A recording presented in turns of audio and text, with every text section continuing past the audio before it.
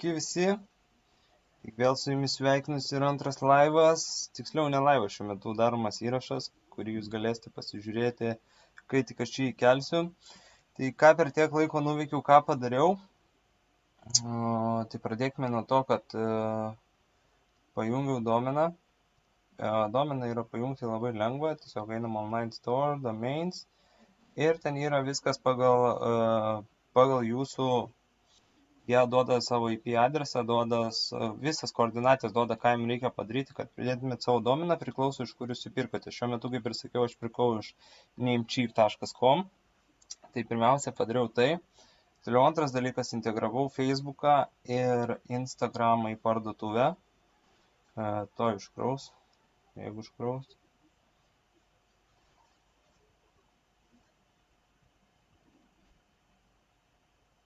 Greičiau.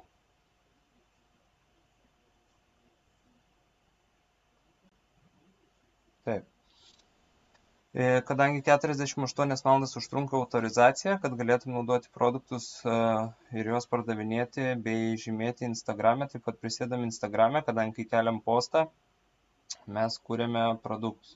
Instagramas dar vis peržiūriu, tai negaliu žymėti postą produktų. Ir Google Analytics. Tai Google Analytics, Analyticsus įsirašėme vakar, o Facebook Pixelį įsirašiau šiandien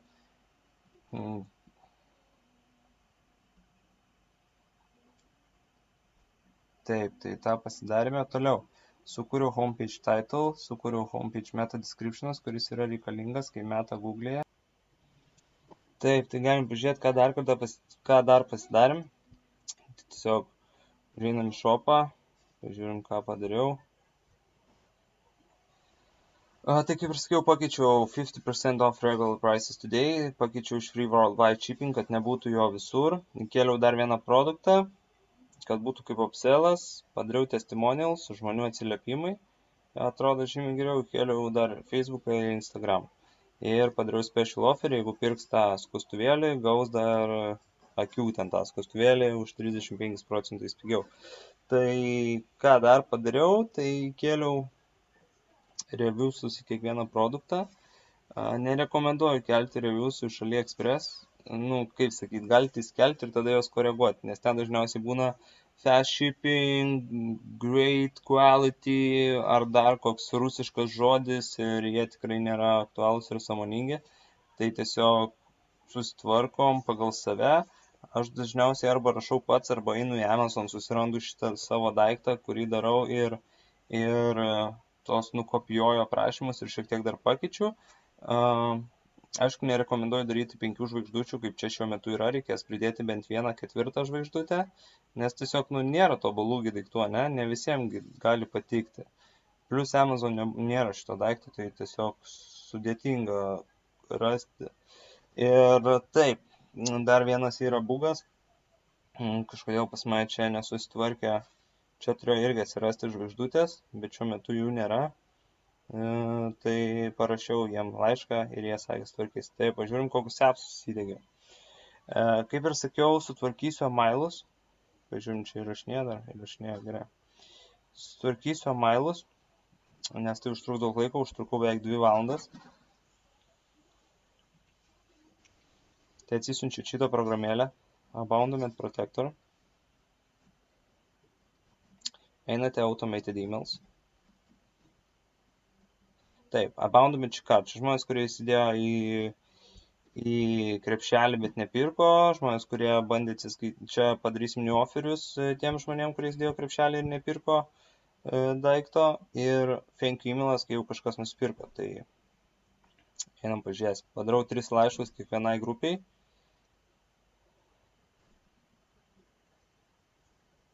Edit template spaudžiam.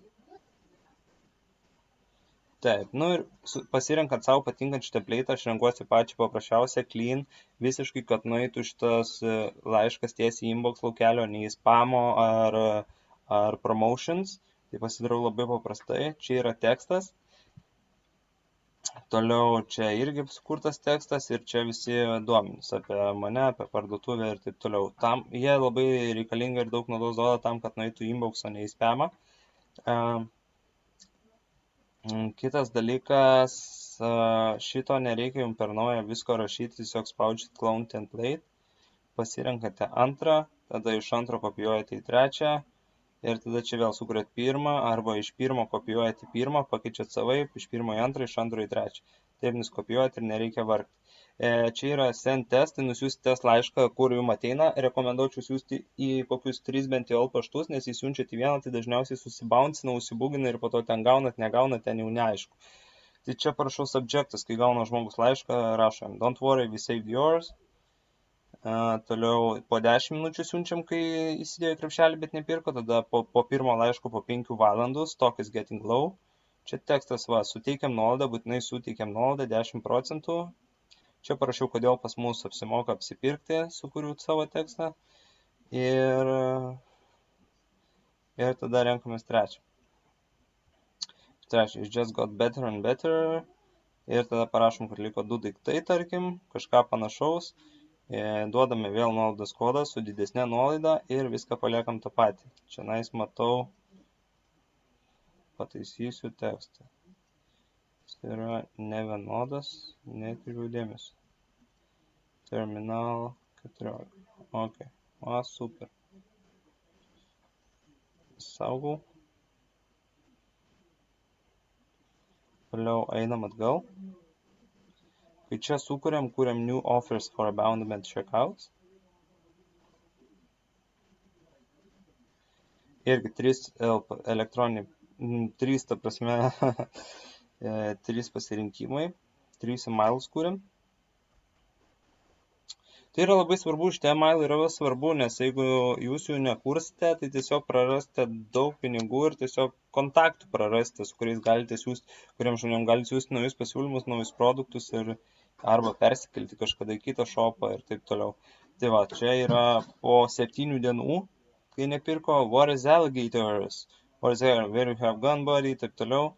5 procentų nuolaida jūsų kitam orderiui, čia vėl viskas tas pats ir čia vėl blogai. Terminal. Ok, save. Irgi stengtis padaryti viską pagal savo parduotuvės spalvas, plus minus, kaip matot, checkout būtinas toks pat, jis dominuoja labai pil, pilka juoda spalva tokia. Ir toliau žiūrim. E, duodu jau po to 5 dolerių nuolaidą, jau didesnė, kad žmogus tikrai ateitų apsipirkti. Čia viską paliekam taip pat. Čia vėl sturkūnus.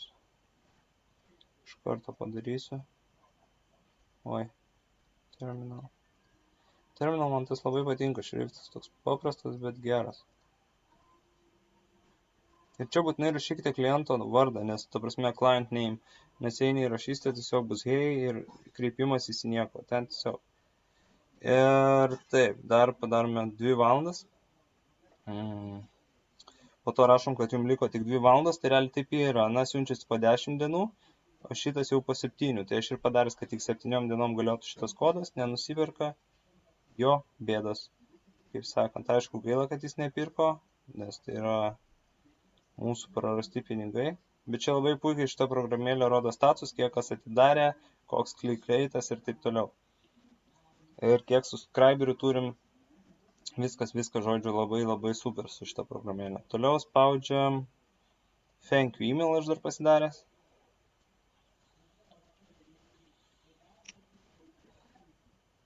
Edit template.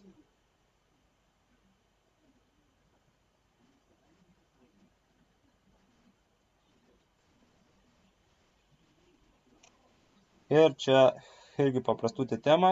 Thank you for shopping at Smart Shaver. Ir tada duodu 3 dolerių nuolaidą. Čia labai paprasta, viskas drobiniam būdu.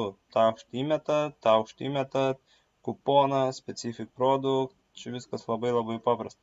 Need help, irgi viskas savo numerį nurodau. Šitie dalykai labai padeda, kad patektų laiškas į inbox dėžutę, o ne į spamą ar promotions tai būtinai spaudžiam settings, kai sukuriate elektroninius paštus, kai surukite laiškus, tada būtinai shop name'as smart saver, nu, jūsų shopo name'as, uh, time zone čia nesvarbu, English, čia gerai, data gerai.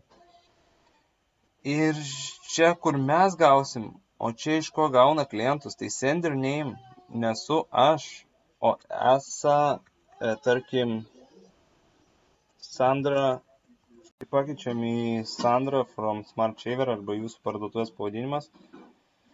Ir kodėl Sandra, tarkim, ar kažkas, nes šiaip žmonės į moteriškus vardus žiūri žymiai kažkaip geriau ir atidaro tos laiškus, nors ir tiesiog darydavau, tarkim, Smart Shaver, tiesiog iš niekur, tai, tai irgi veikdavo, bet šitaip man geriau veikdavo.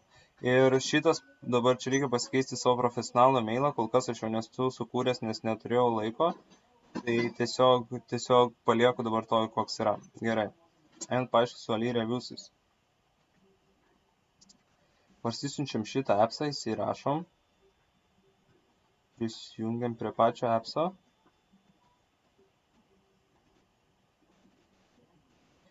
Spaudžiam reviews, import reviews. Ir čia dažniausiai, nedažniausiai visą laiką reikia įrašyti linką iš AliExpreso į būtent tą produktą, iš kurio norite gauti reviews. Tai ką aš darau? Aš nueinu į Oberlo, jeigu neturiu niekur įsisaugojęs.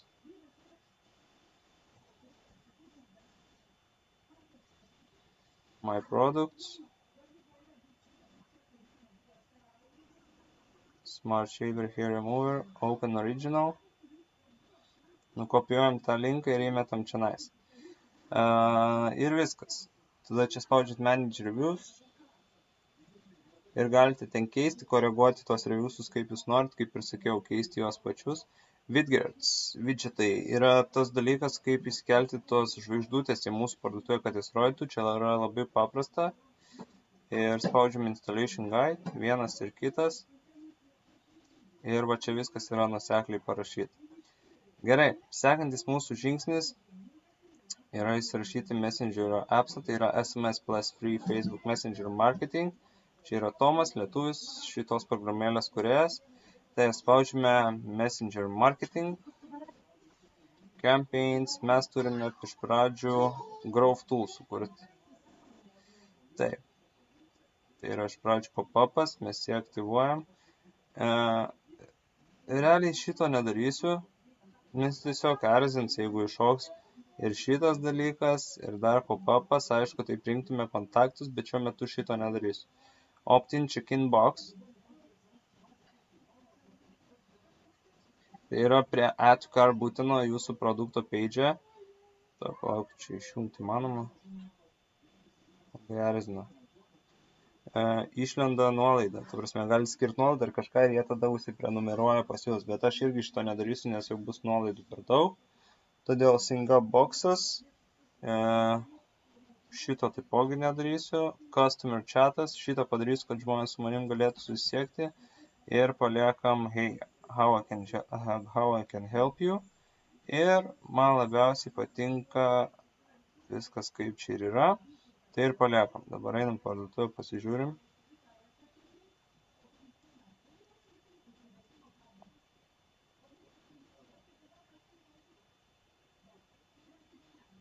Va, atsirado.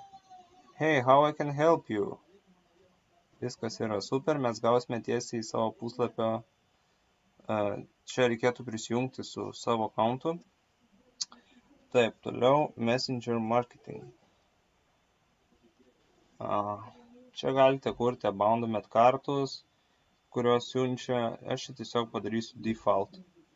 Šiuo metu. Va, čia kaip yra sukurta, taip ir paliksiu. Jo, kad jie būtų, jeigu žmogus susirezervuoja. Ta prasme, jeigu tai jau susubscribina, tai jisai gaus. Aš šiuo metu nieko čia nekeisiu.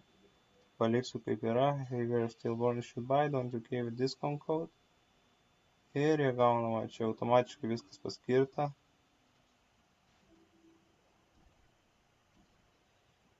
Padarom dar vieną.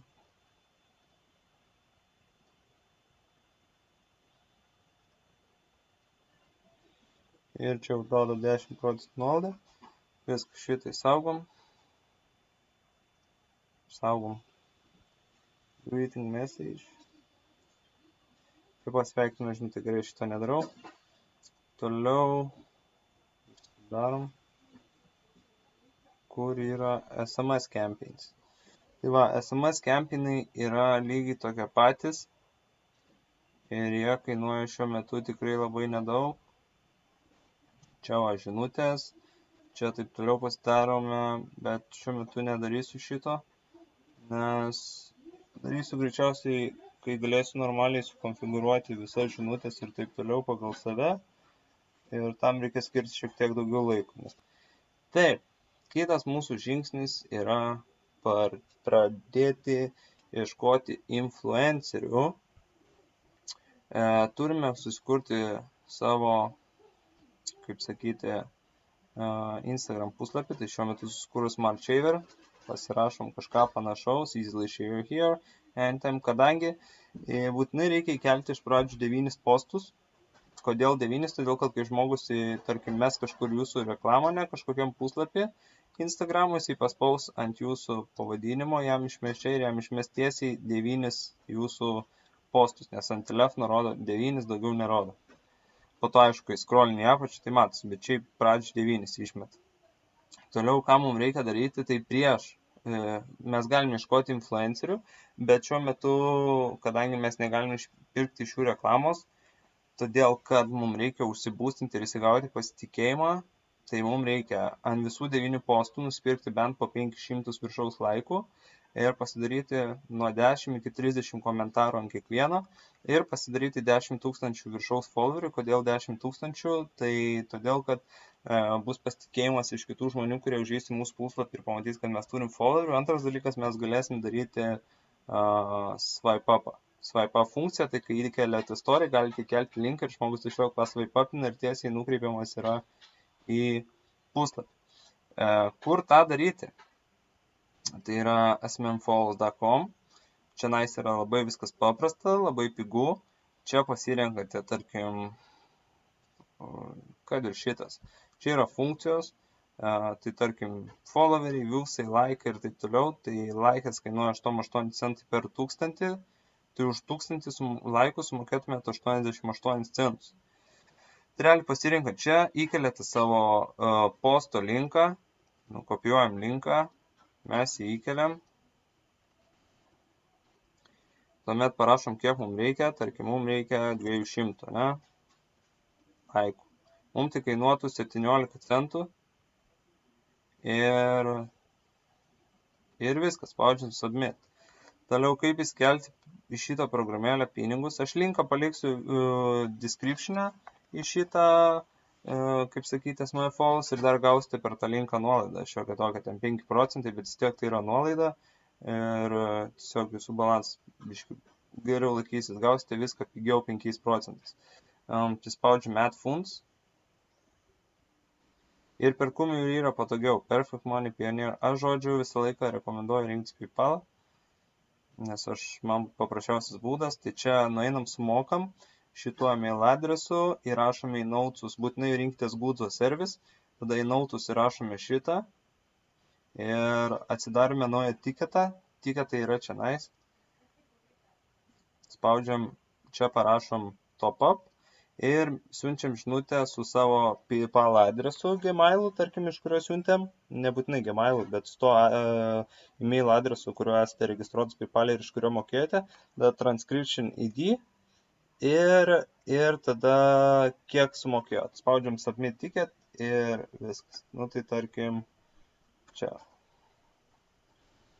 Tai šiuo metu tiek, laukiu, kol užsibūstinsim uh, šitą dalykėlį ir pradėsime judėti su influenceriais ir generuoti pirmasis pajamas. Tai šitam kartui tiek ir susimatysime, manau, jau rytoj. Tai video kelsiu rytoj ir poryt ir žiūrėsime, kaip mums seksis. Priklauso nuo to, kaip influenceriai atrašys. Prisijungkite būtinai į grupę, kurios nuorodą rasite po šito video ir tuomet galėsite gauti pirmasis naujienas, e, visas naujienas pirmieji ir pafollowkit mane Instagrame, ekomvilkas. Ir ten galite su manim susisiekti straight away. Jeigu turite kokių klausimų, ar tiesiog e, šiaip kada kitas video, ar ten kokios pagalbos jums reikia ir taip toliau. Ir tuomet galėsiu jums padėti ir atsakyti. Tai laukime kito video. sekame toliau visas naujienas ir žiūrėsime, kaip mums sės su šita parduotuvė. Kas norite, kad jums sukurčiau parduotuvę, tai irgi galite susiekti su manim, sukursiu vieną, ta prasme, galiu parduotuvę pristatyti per vieną dieną, jeigu kam to reikia, tai prašau kreiptis, padarysim tikrai super paprastai ir greitai. Ir ką, tuomet iki kito video. Sekam rezultatus. Tikiuosi viską supratot viskas aišku. Jeigu ne pakartokit video lėčiau. Kaip ieškoti influencerių ir taip toliau tai buvau padaręs prieš tai video youtube galit pasižiūrėt. Tenais tikrai viskas aišku ir tuomet laukiam pirmųjų pardavimų